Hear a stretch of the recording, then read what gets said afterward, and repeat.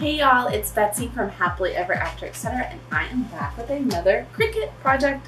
So today I'm going to be showing you how to take my free um, SVG files for Easter that I just put out, I'll link to those down below, and make these two adorable Easter signs with your Cricut Maker. You can use an Explore too though, or Joy, really. Um, either way, there's several different SVG files to choose from if you don't like these. But these were my two favorite, especially because I really wanted to put little felt flowers on the bunnies as tails. so I'm going to show you how to make these. These are um, vinyl and infusible ink on metal aluminum sheets. Um, you have to use infusible ink compatible blanks when you do infusible ink. So this one is a Cricut infusible ink sheet um, the aluminum can transfer the infusible ink. This, however, is just a blank from Michaels. You can use any kind of vinyl on it, not a problem. Can't put infusible ink on it. So just the difference in the blanks there. We're gonna go ahead and get started. If you want to see the full supply list, it will be down below. Let's jump in. Okay, y'all, voiceover Betsy here. We're gonna get started with the infusible ink project pull out my Cricut cart. That way I don't have to move my machine. And this is our infusible ink sheet. Remember, it is actual ink, so you always want to use clean, dry hands. Load it into your machine. This is where we're going to cut out that offset path that we cut out designed in Cricut Design Space and it is going to be mirrored so that it cuts perfectly on our infusible ink sheet. And since it's just an offset path, it cuts pretty darn quick. Perfect. All right, so now we're going to load the actual vinyl. And this is going to take a minute longer because it's all of our words and all those little loops and swirls. This is our actual SVG that we uploaded into Design Space. So let's go ahead and just watch the Cricut work. I swear, no matter how many projects I make, I always love to watch it cut.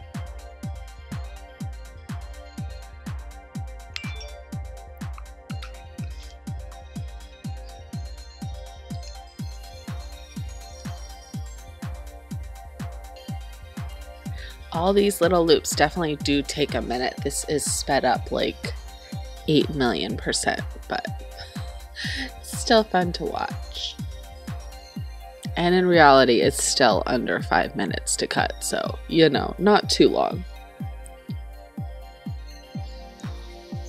Alright, so when it's done, we'll go ahead and we will take it out, and then we will move over to the work desk. Perfect.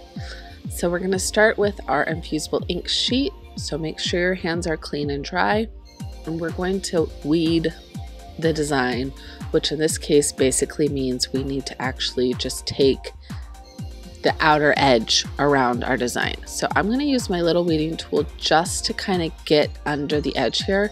You don't really want to use a weeding tool on infusible ink because it can tear the design like it did there, which was intentional, but you don't want to do it unintentionally. So just use your fingers. As you can see, it's a thick material and it comes up really easily, even with more intricate designs. We're just going to go all the way around and take that off. So this is our offset path and this is basically what an offset path does is it just makes an outline, a big bubble so that you can put a different design on top of it or you can make a sticker. In this case, I needed a backdrop for all my pretty words. So now we're going to line that up. And if you've put your um, design on properly, the grid system will help you to line it up. Perfect. I didn't like how the first one was, so I turned it over and I'm going to use the grid at the top of the design, a little straighter, and then smooth it out. Make sure when you're using these infusible ink blanks though, you'll take it out of the package and you'll notice that one side, the side we're working on, is silver, the other side is gold both of those sides are just a film. So you want to take the film off of the silver side. The silver side is compatible with infusible ink. The gold side is not. So once you've actually taken off that film, smoothed your piece on with the brayer here, you can take the gold film off of the back before you heat it up. Just gonna make sure it's all smooth and then we're gonna use some of that heat resistant washi tape to hold down the carrier sheet on the edges. Infusible ink needs to be like super still, doesn't budge an inch when you heat it up. So the washi tape just helps hold it in place. Just has to be heat resistant. Perfect. All right, so now we're gonna grab our cutting mat, not our cutting mat, our easy press mat, and we're going to actually get this baby set up. All right, so we're gonna set it in the middle here. You do wanna put a protective sheet over it if it's anything that will bleed ink, but this isn't. And as you can see, we have it set to 385 and 40 seconds. We'll hit that green.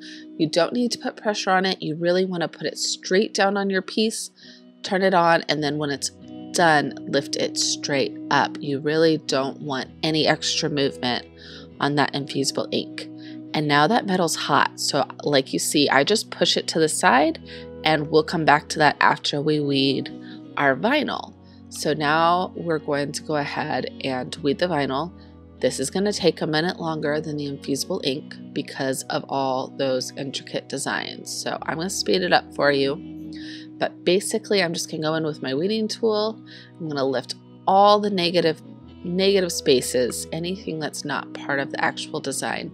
And I really am careful with this particular design to make sure I'm holding down those little tiny swirls, the little tiny tails, anything that's not a super thick line. Hold it down with your finger, hold it down with the weeding tool while you're pulling that excess vinyl away.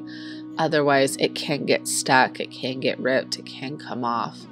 It doesn't always, but it does enough times that it's just easier to hold it down and be really careful with those little tails because they're the prettiest parts.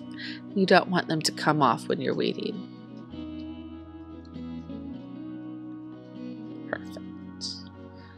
So just keep going until you have everything done. When you get to the inside of the little loops, I like to put my weeding tool right in the middle, kind of pierce the vinyl and then wiggle it around.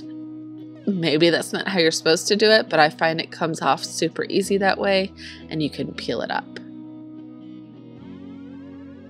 Perfect. Start to see all those little areas and the loops come to life. That's always really fun.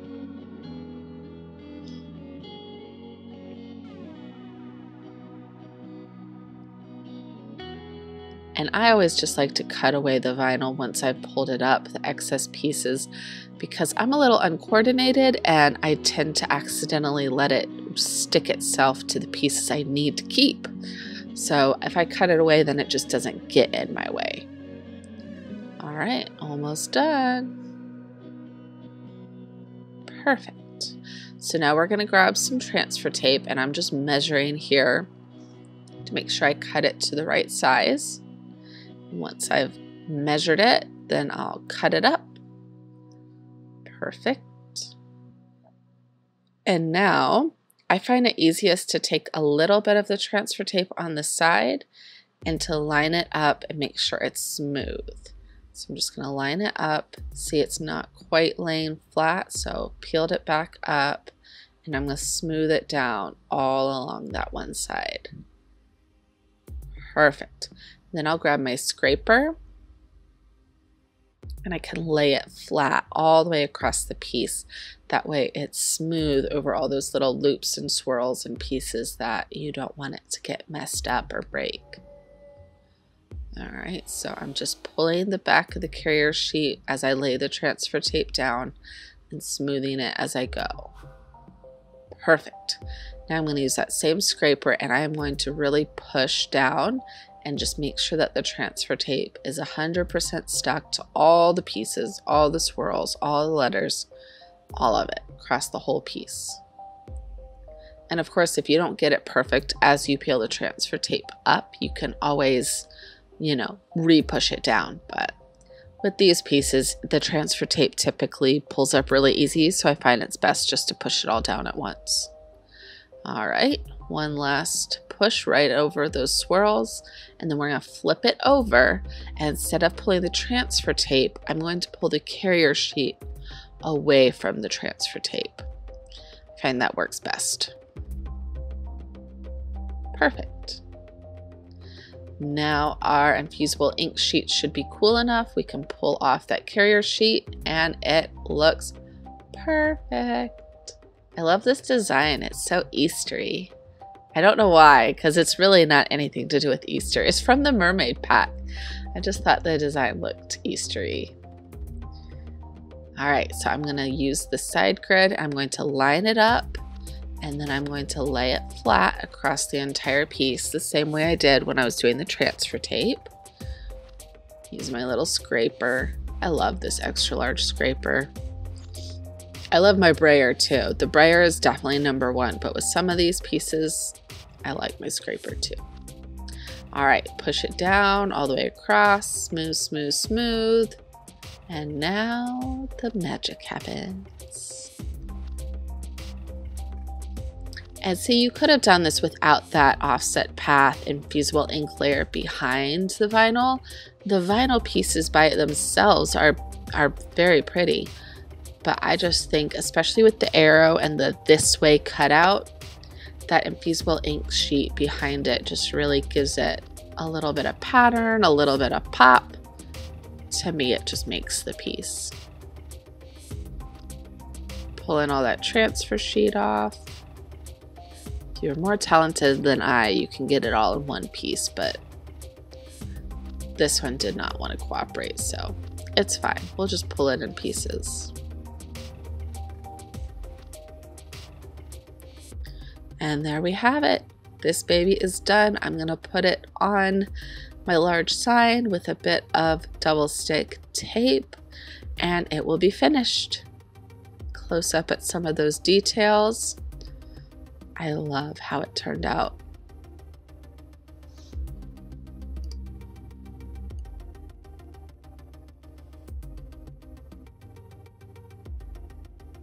Alright guys, that was pretty quick and easy. Now if you haven't made felt flowers before, I have a whole tutorial on that. I'll link it down below, but I've made these. I've made a bunch that I just keep ready to go because I like to add them to all kinds of projects. So if you liked this project, make sure to like, comment, subscribe, hit that bell so you get notifications. I try to put out two videos a week, either resin, Cricut, or home decor projects. And especially now that we have my brand new house, I've been doing lots more home decor, big DIY projects. So if you like those, follow along. I'll see you next week. Bye, y'all.